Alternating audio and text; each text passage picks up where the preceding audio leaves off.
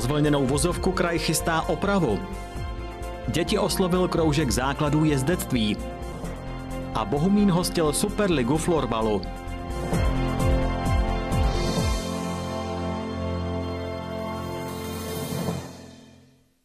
Lidová muzika, folklor a svatební tradice. Do Bohumína se přestěhoval prestižní projekt Muzika Pura a ve zprávách také cestovatelský minifestival, spojení smyčcového kvarteta a hiphopu nebo nová vánoční pohlednice z města na Soutoku. Vítám vás.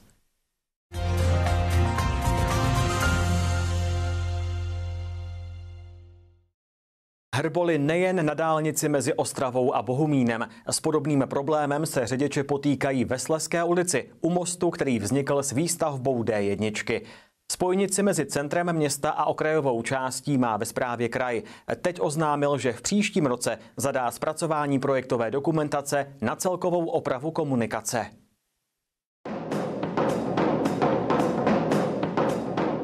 Dobovým armádním videem se bohumíňáci baví, připomíná jim dobře známý stav. Ani jeden, ani dva, ale rovnou několik zhoupnutí za sebou. Na každé straně předmostí a v obou směrech. Zvlněná vozovka ve Sleské ulici řidiče obtěžuje pátým rokem. Koncem roku 2018 byla zadána diagnostika. Ta zjistila, že při výstavbě byla použita objemově nestabilní struska v místech zásypu po překopech uložení dešťové kanalizace. Zbývající rozsah byl proveden ze standardního materiálu, který se používá pro výstavbu pozemních komunikací. Zpráva a údržba silnic Moravskosleského kraje v roce 2019 dvě nejhorší místa zbrousila a lokálně vyspravila. Odstranila původní konstrukční vrstvy až na úroveň odvodňovací roury s hloubkou přes 1 metr a položila nové vrstvy. Násep byl odtěžen trichtýřovitě, u povrchu pak až na šířku 3 metrů. Po realizaci opravy bylo dohodnuto, že bude stav po opravě dále monitorován. U některých ostatních nerovností v roce 2021 zaznamenáváme jejich mírné zvýšení. Ten most přes dálnici byl postaven v souvislosti se stavbou dálnice a je teda pravděpodobné, že se tam vyskytují stejné závady jako při zvlnění samotné dálnice. Zprava a údržba silnic eh, už před asi třemi roky pár závad eh, odstranila a od té doby to monitorují. My si ve shodě s bohumínskými řidiči myslíme, že doba monitorování už by měla být u konce a že by bylo dobré zahájit opravu. Prosím vás, kdy bude opravena cesta do Starého Bohumína? Jezdím s autobusem a zajímalo by mě, kdy už se konečně něco bude dělat s nerovnostmi u mostu na Sleské ulici. Sanitky se zapnutým majákem zde musí zpomalovat a jet krokem, aby na těch hrbolech ještě více neublížili pacientům. My urgujeme u zprávy a údržby silnic a Moravskosleského kraje tu opravu již eh, několik let. I jsme vnímali, že potřebují zjistit, v čem je ta e, příčina, že několik těch závad odstranili tak, aby zjistili, jestli tím odstraněním se docílí definitivního e, stavu. Ale příští týden máme jednání s panem náměstkem pro dopravu Moravskoslezského kraje a chceme, aby ty opravy urychlili, protože e, řidičům to určitě připadá trapné. Na základě všech dosavadních zjištění a monitoringu bude v roce 2022 zadána projektová dokumentace na provedení opravy komunikace. V případě, že by došlo ke zhoršení situace, tedy k dalšímu navýšení nerovností, bude provedena lokální oprava. Nerovnosti, byť v menším rozsahu než v ulici Sleská, se objevily také u dálničního mostu v Šunichelské ulici mezi Novým Bohumínem a Šunichlem. I tam už správci silnice již dříve provedli lokální zásah.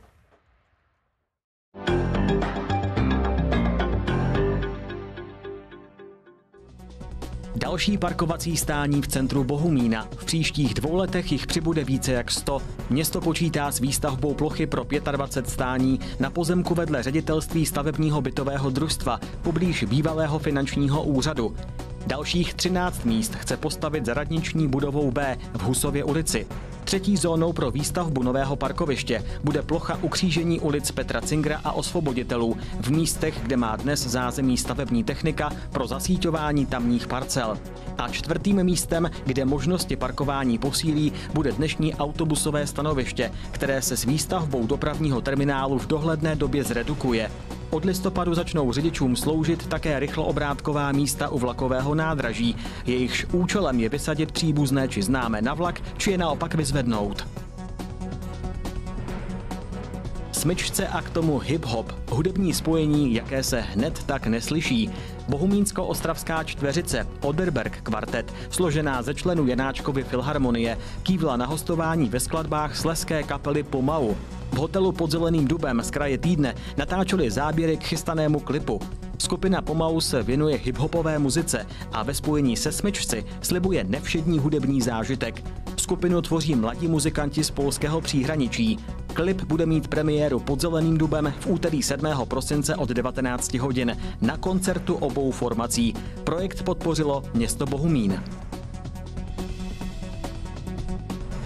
Pětním aktem si připomněli vznik samostatného československého státu 28. října 1918. K pamětní desce prvního prezidenta Tomáše Garika Masaryka položili květiny zástupci města, politických stran i společenských organizací a škol. Československo, zejména na území Těšínského Slezska, nevznikalo snadno. Území si nárokovalo také Polsko s místní silnou národnostní menšinou. V lednu 1919 se o něj dokonce bojovalo v takzvané sedmidenní válce a Bohumín sehrál klíčovou roli vzhledem ke své strategické důležitosti. Spor ukončila až mezinárodní arbitráž v roce 1920.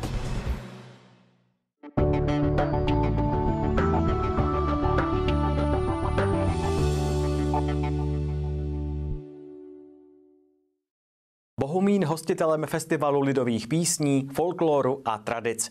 Do Sleského města se přestěhoval mezinárodní hudební projekt Muzika Pura, který představuje špičkové hudebníky z domova i ze zahraničí. Hvězdami dvojkoncertu byli například legendární rendešouci z východního Slovenska a spolu s nimi pěvecká skupina Blaženky.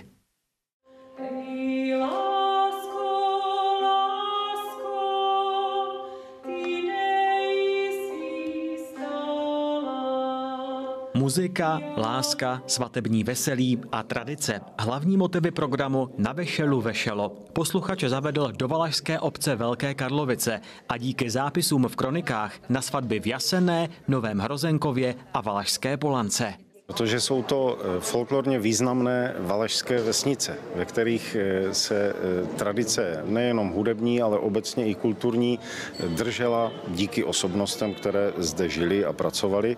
Přece jenom trošičku výrazněji se, se uchovala v historii než třeba v jiných valašských vesnicích. Na Janáčkovu notu zahrál Ensemble Flair, doplněný o několik hostů, včetně mladých talentů regionu. Pěvecky je doprovodila vokální skupina Blaženky ze Vsetína. V jejím podání zazněly halekačky a zpěvy před muzikou. A halekačky patří do valašského repertoáru de facto jako takový dialog mladých dívek, které vlastně od té doby, když jim bylo třeba 6 let, eh, byly povinné doma pomáhat.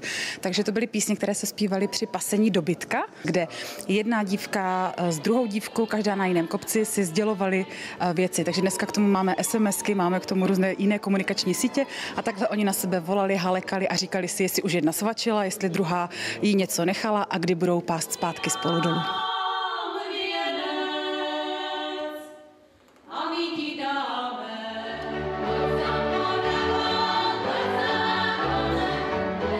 Uvidíme eh, možná asi první veřejné koncertní provedení takzvaného čepení nevěsty, které probíhá opravdu exkluzivně jenom na soukromých svatbách. Ten obřad, kdy se vlastně z dívky stává vdaná žena. A ten obřad trvá samozřejmě, nebo trval v minulosti třeba i dvě hodiny. To takzvané zavíjení, zavíjačka. Na východ Slovenska zavedla posluchače druhá část dvojkoncertu, která patřila energickým legendárním rendošoucům, muzice a pěvecké skupině Milana Rendoše.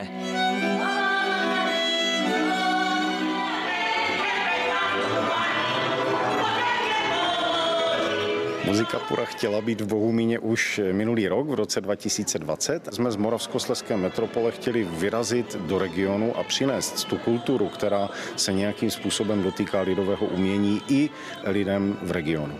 Festival podpořili město Bohumín, Moravskosleský kraj i bohumínský spolek Odrberg. Záznam koncertu odvysílá Český rozhlas Ostrava někdy z kraje příštího roku.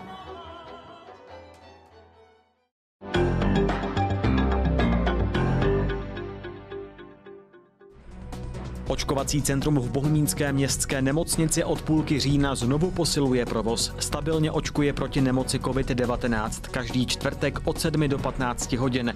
Další dny přidává podle zájmu. Například v uplynulém týdnu šlo o pondělí a středu. Souvisí to s aplikací třetí posilující dávky. Zároveň se mírně zvedl zájem o prvovakcinace. Nemocnice zdůrazňuje, že k očkování je nutná předchozí registrace na státním portálu, proto aby měla ve svém centru dostatečnou zásobu vakcín. Dosud v něm aplikovala více jak 18 tisíc dávek. 4725 sad k testování žáků na koronavirus v úterý dorazilo do Bohumína. Ze státních zásob je přivezli krajští hasiči, aby je K3 následně rozvezla do základních a středních škol v Bohumíně, Rychvaldu a Dolní Lutyni. Karvinsko vláda zařadila mezi osm okresů, kde nařídila povinné testování kvůli rychlému šíření onemocnění COVID-19. Cílem je udržet klasickou výuku. Testování lze odmítnout s tím, že dítě pak bude muset mít nasazený respirátor i ve třídě a dodržovat přísnější hygienický režim, uvedlo ministerstvo zdravotnictví. Testování ve školách proběhne v pondělí 1. a 8. listopadu.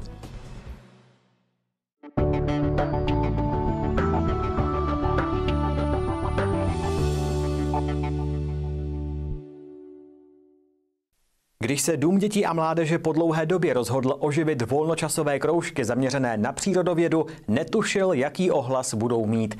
Podzimní senzací se stala skupina zaměřená na základy jezdectví a péči o koně a poníky.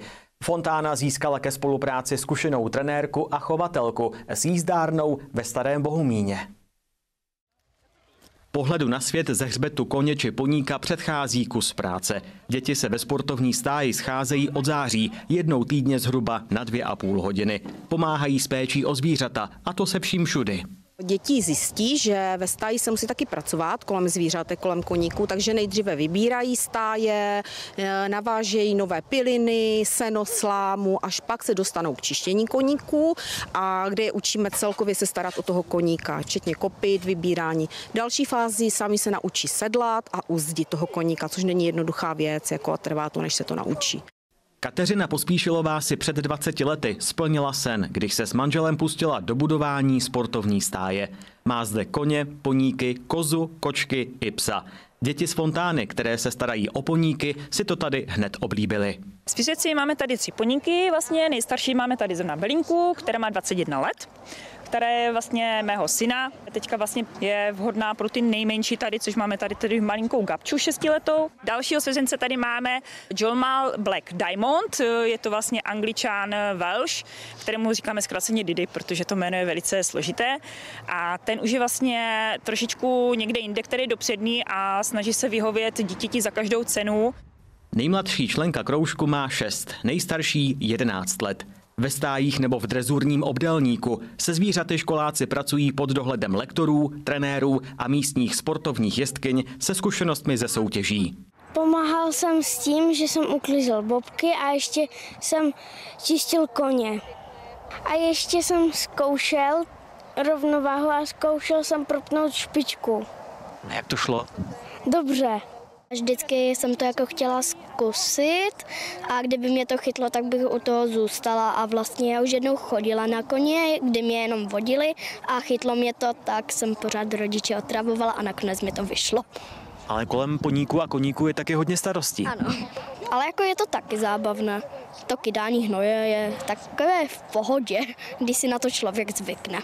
Z dalších vlastně tady máme bílého bukiska, jmenuje se Bukefalos, ale my mu říkáme bukisek, je to přece jenom příjemnější, jedno očko má modré, jedno má hnědé a je velice takovým profesorem, už 14 letým, který vlastně je sportovní pony, který chodí s děvčaty jak po výstavách, tak i po drezurním obdelníku přivítat se s poníkem, odměnit ho a také na něj mluvit a ovládat základní hlasové povely. K budování vzájemné důvěry pomáhají jednoduché cviky na poníkově hřbetu. Některé děti vlastně přijdou s tím koníkem poprvé vlastně do toho kontaktu a nevěří mu, což potom ten koník vlastně vycítí a takové ty různé cviky, jako že prostě jakoby trháme jablíčka nebo prostě se protáčejí, tak za prvé samozřejmě trošičku posilou i sami trošku protahují to tělo, ale začínají i věřit, že najednou oni sedí křičovitě a když já jim řeknu pustit, tak mi musí samozřejmě věřit a musí věřit i tomu koni. Zpočátku opravdu cvičíme, je to z důvodu jak protahování těch cyklů, tak i z hlediska získání té důvěry k tomu koni. Dítě se učí, jak má sedět, jak má držet nohy, jak má komunikovat s tím koněm.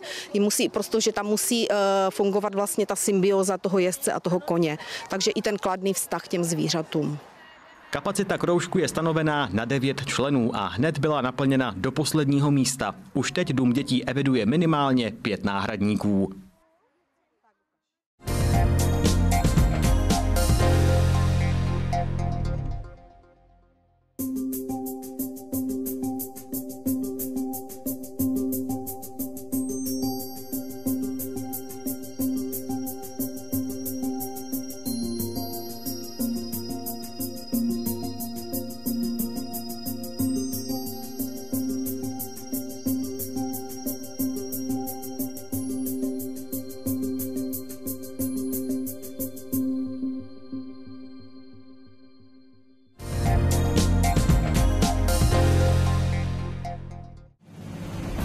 Strážníci a asistenti prevence kriminality. Jsou tam, kde je potřebujeme. Dohlížejí na veřejný pořádek, pomáhají, zachraňují. V Bohumíně již 30 let. Městská policie, to je také až 3000 ročně zjištěných přestupků. 350 ročně spoluodhalených trestních činů skoro 300 ročně zjištěných překročení povolené rychlosti, 70 ročně odhalených černých skládek, 100 a více ročně odchycených volně pobíhajících psů a taky králíci, koně, papoušci nebo želvy.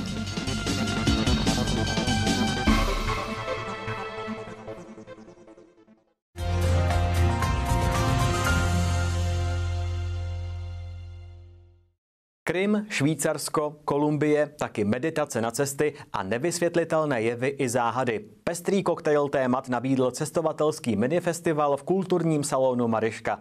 Do Bohumína přilákal zvučná jména, například Karla Bělohlavého, dramaturga a scenáristu televizního pořadu Postřehy od jinut, anebo záhadologa Arnošta Vašíčka. Do Kolumbie a Švýcarska vzal návštěvníky minifestivalu dramaturg a scénárista Karel Bělohlavý. Televizní pořad Postřehy od jinot připravuje od roku 1993. Patří k nejdéle vysílaným cestovatelským formátům České televize. Máme neustále další destinace připraveny, další autory. Snažíme se obnovovat ten základní kádr, jak se říká, autorů. Z doposud s námi spolupracovalo asi nějakých 10-15 lidí. My si vybíráme většinou rozhlasové zpravodaje, abychom se odlišili od jiných těch formátů. Vysílá série, kterou jsme natočili ve Švýcarsku s Petrem Voldánem, jmenuje se to Švýcarské Alpy. Momentálně se odvysílali dva díly, a takže se bude vysílat každý týden až do počátku ledna. Potom se bude vysílat série, kterou jsme natočili s Pavlem Polákem v Berlíně, takže o Berlíně bude dalších 13 dílů. Já jsem student Univerzity Palackého, Fakulty tělesné kultury, oboru rekreologie a vlastně tady toto je můj magisterský projekt, kdy jsme měli jakoby zorganizovat akci od začátku do konce, co na cestě, na cestě potkalo v těchto zemích. Předávám ti slovo. Děkuji. No, takže... K vrcholkům nejvyšších hor světa, do Himalájí, posluchače zavedl bohumíňák Petr Pepe Pěchovič. Fotograf, cestovatel a skalní lezec v premiéře představil fotky z výpravy do Nepálu, kterou podnikl co by dokumentarista s horolezcem Radkem Jarošem. No, těch zážitků bylo spoustu, protože Nepal je krásná země, barevná, vonavá, ale i smradlavá.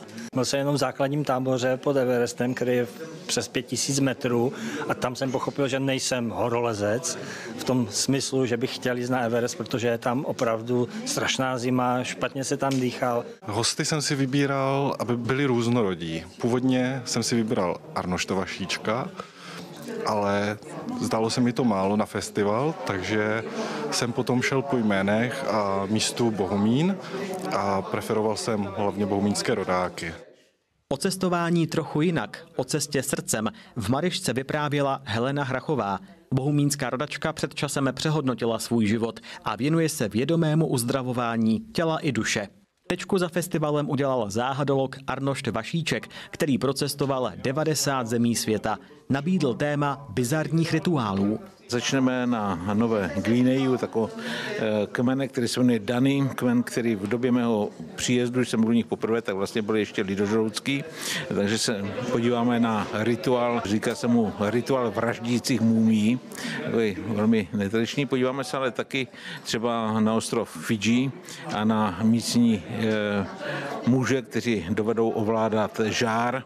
Program minifestivalu doplnila výstavka prací dětí na téma cestování a o něm se v Marišce debatovalo až do pozdních večerních hodin.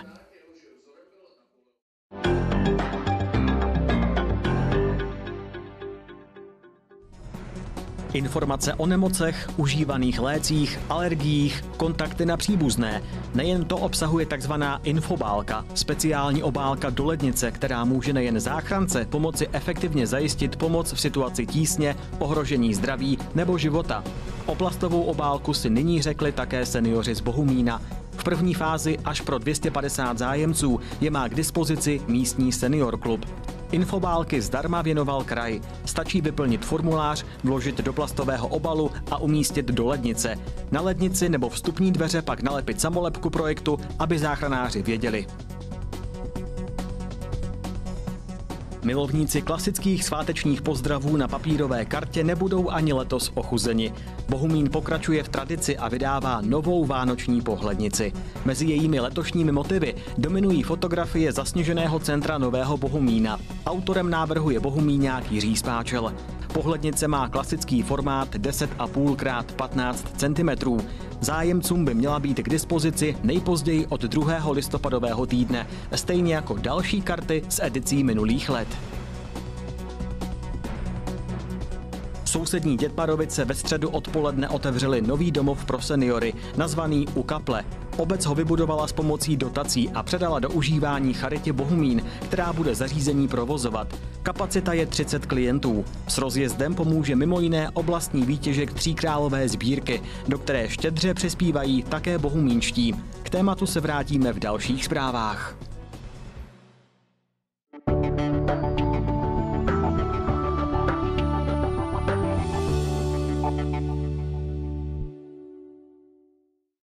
Nejlepší tuzemský florbal zavítal do sportovní haly Bospor. V rámci výjezdního utkání Superligy se na tamní hrací ploše střetly celky ostravského FBC s pražskými Bohemians.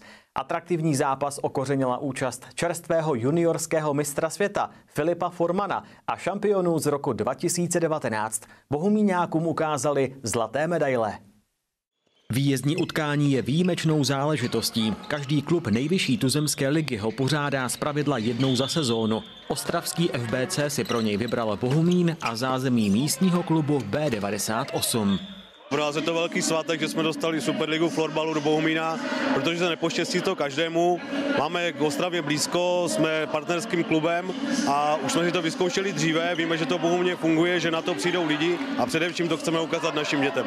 V neděli večer si našlo cestu do městské sportovní haly 250 diváků. Z pohledu statistiky je to vynikající číslo, protože na klasické ligové zápasy chodí na Ostravsku do hlediště v průměru 150 lidí. Já si myslím, že tam nejvyšší návštěva za tu dobu, co hrajeme letošní sezónu. Tak je to příjemné, že tolik lidí si najde cestu na fotbal i v době, v jaké momentálně jsme. A doufám, že to tak vydrží po zbytek té sezóny. Atmosféra jako příjemná, celkově ta hala příjemná, je tady dobré zázemí. Jsme rádi, že čas od času můžeme vyjet. Samozřejmě doma je doma, ale je to takové příjemné zpestření. S číslem 1,80 se s kapitánskou páskou pražských Bohemians představil Filip Forman, čerstvý mistr světa juniorů do 19 let.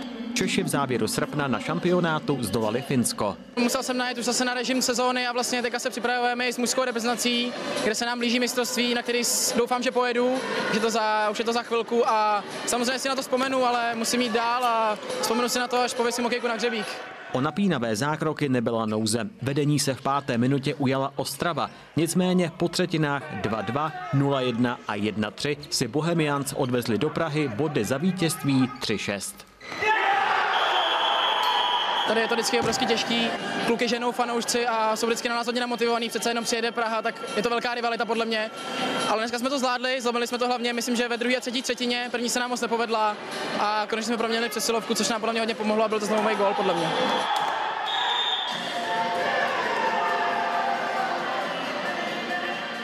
Ta plaketa, kterou jsme obdrželi, je jakýmsi potvrzením toho vztahu, který dlouhodobě mezi prvním mestre Bohumín 98 a FBC Ostrava funguje.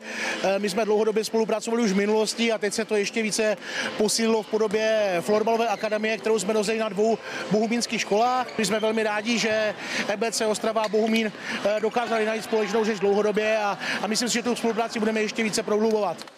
Česko dosud vyhrálo mistrovství světa juniorů do 19 let dvakrát. V Halifaxu a letos v Brně. Bohumínský potěr uvítal možnost pořídit si s mistry světa společnou fotku. Mimochodem místní klub stále přijímá posily do všech svých skupin, od dětí až po muže.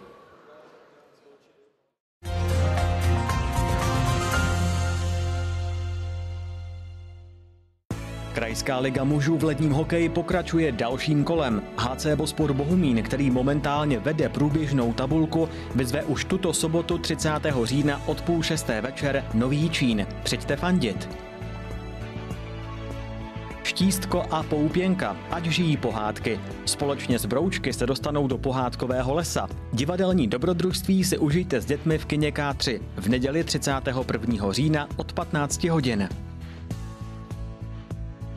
Začínáte pečovat o svého blízkého, který už to sám nezvládá? Typy a rady přidá beseda, kterou pořádá Charita Bohumín. Ve čtvrtek 4. listopadu od půl páté odpoledne v salonu Mariška na náměstí Tomáše Garika Masaryka. Saunové ceremoniály, masáže, peelingové procedury a další. Bospor pořádá podzimní saunovou noc v pátek 5. listopadu od 21 hodin a 15 minut. Oblíbená zpěvačka Mára z TV Šláger zaspívá spoustu svých hitů v kině K3. Doprovodí ji saxofonista, klavírista a hudební skladatel Franky Žernov v pátek 12. listopadu od 16 hodin. Sezóna veřejného bruslení je v plném proudu. Přijďte si zajezdit na ploše v hale zimního stadionu Bospor každou sobotu a neděli od 15 hodin do půl páté odpoledne. Po zprávách otestujte svou pozornost a soutěživost. V magazínu Kdo ví odpoví hrajeme nejen o lístky do kina a o plavenky do akvacentra, taky prozradíme, jak bude v Bohumíně vypadat počátek adventu. Další reportáže nabídneme opět za týden. Přeji pohodový vstup do listopadu. Na viděnou.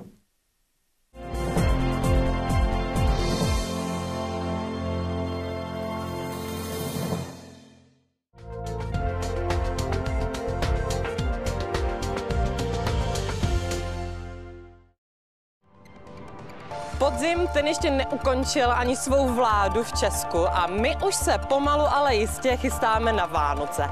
Zdá se vám to brzy? Možná ano, nicméně podívejte se kolem sebe. Třeba v nákupních centrech nám nabízejí vánoční dekorace. Města ta se pomalu, ale jistě chystají nejen na vánoční jarmarky. No a tak jsem si řekla, že se v dnešním díle Kdo ví odpoví, podívám na to, co vánočního se chystá pro Bohumín. Vánoční aktivity pro Bohumín zajišťuje převážně K3. Pro své občany v předvánočním, ale i v čase vánočním chystá Vánoční jarmark s programem, tématický program v knihovně, různá hudební vystoupení, besedy nebo divadelní představení zaměřená na vánoční čas. Na svém kontě má celou řadu aktivit a ani letos tomu nebude jinak. Tady na náměstí Tomáše Garika Masaryka to v sobotu 27. listopadu, tedy den před první adventní nedělí, všechno vypukne. Mluvím o vánočním jarmarku. Ten se loni neuskutečnil a tak se chce letos v celé své kráse představit. Již po mnohokráté budete mít možnost si vyzkoušet skvělé jídlo.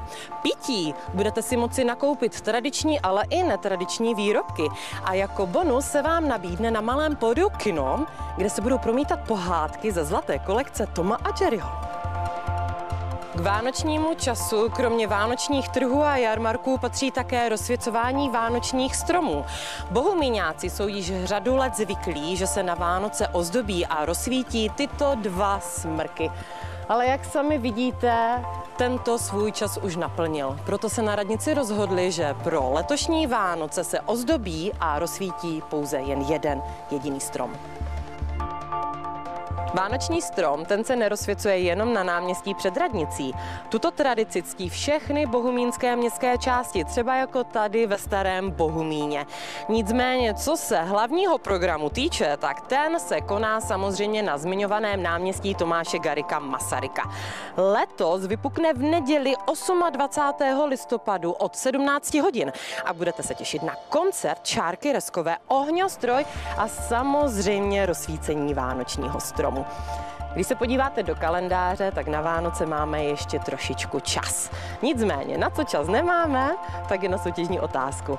Chtěla bych se vás zeptat, které pohádky se budou promítat na náměstí Tomáše Garika Masaryka v době vánočního jarmarku.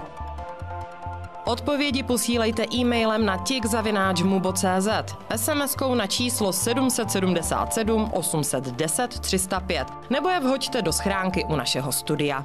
Nezapomeňte připsat své jméno, adresu a telefon. Bez nich vás ze soutěže vyřadíme a to by byla škoda. Pokud odpovíte správně a vylosujeme vás, výhra je vaše a na převzetí se domluvíme telefonicky. Aktuální soutěžní otázku najdete na webu ve videoarchivu naší televize.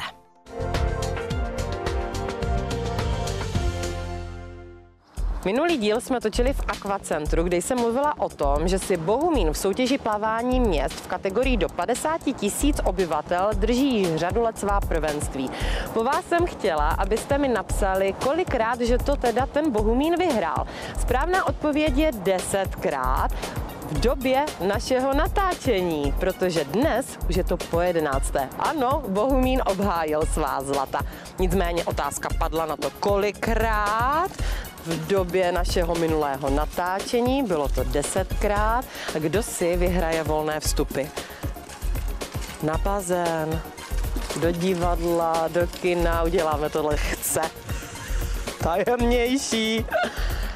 Kdo teda bude plavat a užívat kulturu? Hela Vamblaky. Bohumín, ještě jednou Hela Vamblaky, správně přečteno. Gratuluji.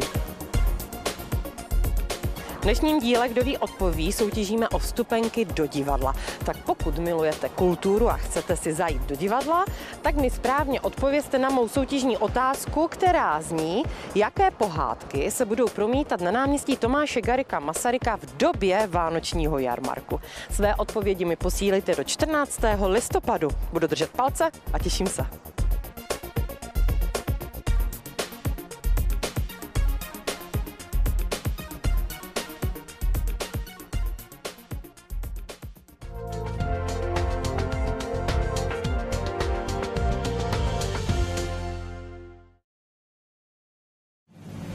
Strážníci a asistenti prevence kriminality Jsou tam, kde je potřebujeme. dohlížejí na veřejný pořádek, pomáhají, zachraňují. V Bohumíně již 30 let. Městská policie to je také. 33 pohyblivých kamer v ulicích, digitální záznamový systém, fotopasti a mobilní kamery. 6 osobních policejních vozidel. 9 policejních jízdních kol. 680 objektů napojených na pult centralizované ochrany. Až 7300 ročně přijatých hovorů na linku 156.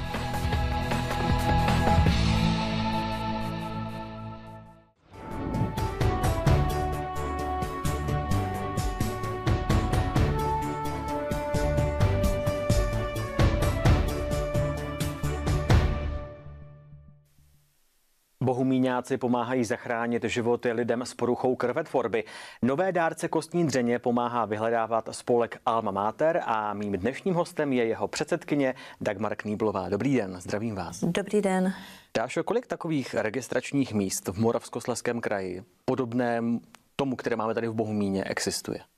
Tak my jsme první, co se týče nezdravotnického zařízení, protože samozřejmě náběrové místa jsou eh, ve zdravotnických eh, nemocnicích v celé republice i v Semoravském kraji, ale zapsaný spolek, který má dohodu s Českým národním registrem, jsme opravdu první. A co vás k tomu vedlo, že jste se nakonec ve spolku Alma Mater s děvčaty řekli, Tak to zkusíme a půjdeme do toho. Tak Alma Mater vznikla už před devíti lety, takže po těch pěti, šesti letech jsem i já jako zakladatelka a taková ta hlava celé, celé, toho, celé toho seskupení začíná mít pocit, že bychom měli mít trošku ještě cílenější to poslání, smysluplnější. No a pomohlo tomu více i nějaké náhody, protože jsem se potkala se zajímavými lidmi právě, kteří pracovali v registru což mě zaujalo. Potom i moje vlastní osobní zkušenost, protože jsem se v rodině setkala s touto problematikou a Prostě velkou, velkou váhu mělo i to, že registr právě od ledna eh, loňského roku přešel ještě na druhý způsob náboru a to jsou stěrové tyčinky. Takže to byly ty důvody, které se tak nějak se skupily a zaujalo nás to a šli jsme do toho. Kdo se může stát dárcem kostní dřeně a jsou proto, předpokládám, že ano, specifické podmínky? Tak ty základní jsou tři. Eh, musí to být člověk, kterému je 18 až 35 let. Je zdravý, to znamená, nebere trvale žádné léky, nemá žádnou vážnou diagnózu a má trvale českou zdravotní pojišťovnu. To jsou takové ty základní podmínky. Samozřejmě pak je to jeho zodpovědné rozhodnutí, že chce vstoupit do registru. Registrační místo v Bohumíně najdeme v Solné jeskyni. Ta je Bohumíňákům dobře známá. Co mě tam čeká, když přijdu? Čeká mě pohovor, vyplnění nějakého dotazníku, formality zkrátka? Ano, je to asi 15 minut vašeho času, takže přijdete, vyplníte dotazník, kde jsou základní eh, zase eh, informace ohledně vašeho zdravotního stavu, osobní údaje, potom uh, si sám, vlastně všechno si děláte sám. My, vám, my vás jenom vedeme. Takže si sám odeberete eh, DNA z, ze sliznice ústní s obou stran speciálními tyčinkami po jedné minutě. Potom ještě se musí ty tyčinky 3 až 5 minut sušit. Je speciální obálka, do které vložíte tyčinky, zalepíte, napíše se na to jméno, rodné číslo a toto i s dotazníkem odevzdáváme na nejbližší krevní centrum. Tím je v podstatě proces hotov. A co se potom s tím mým vzorkem a také s tím dotazníkem děje dál? Tak to, to už se právě starají ty dárcovské centra, které jsou na každé velké poliklinice ve velkém městě a tam už vás zapíšou do své databáze a putujete eh, do eh, centrálního registru v Plzni už pouze pod registračním číslem, tam už to jde anonymně. My jsme se také kdysi dávno při natáčení reportáže bavili o tom, že já můžu být v registru dárců kostní dřeně, ale jaká je pravděpodobnost, že moje dřeň bude shodná s tou uh, od pacienta? Dá se, že někdo řekne malá, někdo velká, je to jedna ku 125. Takže my opravdu statisticky potřebujeme najít 125 eh, ochotných dárců zapsat se do registru, aby jsme byli schopni zachránit jeden lidský život. Kolik dárců aktuálně je v Českém národním registru? Tak ke konci loňského roku to aktuální číslo bylo 84,5 eh, eh, tisíce dárců. Celosvětově to je potom 34 a něco milionů dárců a Alma Mater přispěla do vínku za 9 měsíců své činnosti 600, 600 lidí máme zapsaných v registru. Vy jste si to dali jako jedno ze svých předsevzetí i do roku 2019 vyhledávat nové dárce. Když se ještě vrátíme k tomu loňskému roku, vám se povedly poměrně velké náborové akce a tím už směřuji k vysokým školám a k vysokoškolákům. Tak protože vysoké školy eh, jsou takové, že máme soustředěné ty mladé lidi na jednom místě. Takže jsme udělali eh, velký nábor v Hradci Králové, v Brně na VUT a poslední byl 6. prosince na Vysoké škole Bánské v Ostravě, kde se zapojilo pět fakult. Jaké jsou první reakce mladých lidí, když je oslovíte? Je tam mírná nervozita, mají hodně otázek? Je to různé. Je to velmi různé, protože setkáváme se s lidmi, kteří jsou nadšení a e, chtějí se zapojit, jsou lidi, kteří se zaleknou. E, záleží od té informovanosti, takže Alma Mater si dala za úkol nejenom e, náborovat a nabírat nové dárce, ale samozřejmě dělat i tu osvětu kolem toho, protože kolem kostní ještě pořád je trošičku taková, taková bublina, jako že to strašně bolí a že prostě lidi z toho mají trošičku strach, tak to chceme vyvrátit. A je ta bublina opodstatněná v dnešní době, nebo se ten systém odběru, samotného odběru kostní dřeně hm, hodně proměnil? Tak nemám osobní zkušenost, samozřejmě nemám. Ale z to, co jsem se dozvěděla, ty informace, které mám, tak ten vývoj jde samozřejmě dopředu. Takže dneska už existuje dvojí způsob uh, odběru kostní dřeně. Ten je ten klasický z kosti pánevní kdy se vlastně odebere 5 kostní dřeně z kosti pánevní. A ten druhý způsob už je separaci krvetvorných buněk separátorem. Obojí se děje v Plzni, takže vždycky ten dárce musí jít do Plzně a tam e, přímo v registru se odběr provádí. Jak moc je mm, to onemocnění, porucha krvetvorby u nás e, v Česku rozsáhlé? Jaké věkové skupiny postihuje? Jsou to jenom dospělí? Bohužel ne. Bohužel ne. Zasahuje se to od narozených miminek až po stáži, takže Dneska největší procento eh, nemocných jsou akutní leukemie, kteří potřebují kostní dřeň, tam je to procento největší, takže bohužel opravdu zatím pořád ještě každý čtvrtý u nás dárce nenajde. Vaše registrační místo nelze přehlédnout. Vy jste si totiž pořídili v souvislosti s dárcovstvím kostní dřeně eh, novou fasádu, možná trochu nové logo. My jsme loni prošli takovými jako více změnami, nejenom tím posláním. Takže jsme se rozhodli, že i to místo e, zrepasujeme. Takže i vnitřek eh, prošel úpravami, vymalovalo se, udělali se tam e, prostě změny. No a díky městu, které dělalo celou novou fasádu na, na, tom, na tom domě, tak jsme ve spolupráci s Bohumínským Bartem, kterým moc teda děkuji, protože byli úžasní, tak se tam vytvořilo to nádherné, co tam dneska je a my jsme s tím moc spokojeni.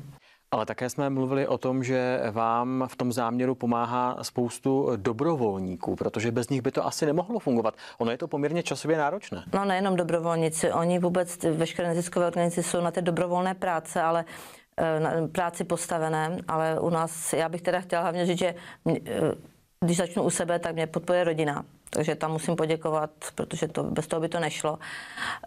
Uh, jinak mám spoustu, spoustu úžasných lidí kolem sebe. Já to vždycky říkám tak, že Kniblová něco vymyslí a pak přijde spousta úžasných lidíček a ty to zrealizují. Jo. Takže uh, máme dobrovolníky, samozřejmě tady ty dámy z Alma Mater, které jsou skvělé a jim nepřestanu být vděčná, co jsou všechno schopny dělat. A potom třeba teďka nám vznikla úžasná skupinka dobrovolníků třeba v Blansku, mladých lidí, kteří nám přijeli až do Ostravy pomáhat eh, dělat nábor. Takže dobrovolníků je hodně, ale pořád ještě není dost.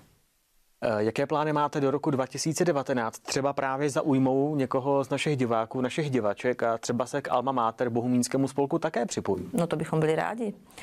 Samozřejmě chceme pokračovat té činnosti, kterou děláme. My už jsme začali teďka v sobotu úžasným koncertem v Záblatě v Sokolovně, novoročním Třikrálovým. Takže my budeme určitě plnit to hlavní poslání, kterým je dneska nábor kostní dřeně. Pak budeme pokračovat v těch činnostech, které jsme dělali.